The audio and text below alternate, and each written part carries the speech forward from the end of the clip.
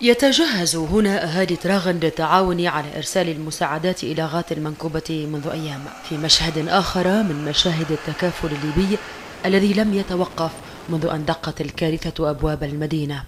تنطلق آه، قافلة آه، الخير الآتية من مدينة تراغن. الآن وصلنا مدينة باريا وحننطلق إلى آه، مدينة غات.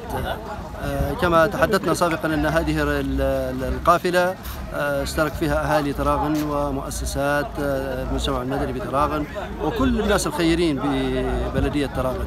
كل الجهات في بلدية تراغن ساعدت في هذه القافلة المتوجهة إلى غات. حيث تشمل معدات طبية إلى جانب المواد الغذائية وعدد من المساعدات العينية التي تحتاجها المدينة. في ظل التجهيز للانطلاقة حملة حملة الخير الثالثة لمدينة غاد طبعا هناك كشاف مساهمين مع باقي الجهات داخل بلدية تراغن من ضمنها بلدية تراغن مؤسسات المجتمع المدني آه، الهلال الأحمر كشافة جميع مكونات المجتمع.